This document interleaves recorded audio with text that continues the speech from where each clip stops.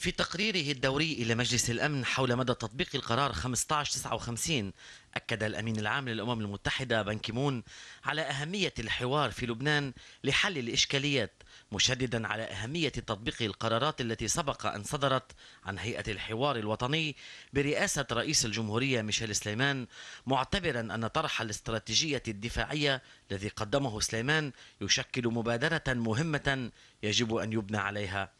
بان أشار إلى غياب أي تقدم حسي على تطبيق القرار 1559 مضيئا على مخاوف لا تزال تهدد سيادة لبنان واستقلاله على الرغم من سياسة النأي بالنفس التي يعتمدها رسميا إزاء الأزمة السورية. ولفت بان إلى أن التطورات في سوريا انعكست على لبنان في إشارة إلى الأحداث الحدودية التي رصدت خلال الفترة الأخيرة وإلى حادثة تلكلخ من دون إغفال انخراط حزب الله في القتال في سوريا. وطالب بان الحكومة اللبنانية والجيش بتكثيف جهودهما لاحتكار امتلاك السلاح مشيرا في تقريره إلى أن الانقسام السياسي وعدم التوافق على قانون جديد للانتخابات وعلى التعيينات الأمنية كلها عوامل تجعل لبنان أقل قدرة على مواجهة التحديات التي تنتظره. وإذ دعا بان الحكومة السورية إلى احترام السيادة اللبنانية. أعرب عن قلقه أيضا من انغماس لبنانيين في الصراع السوري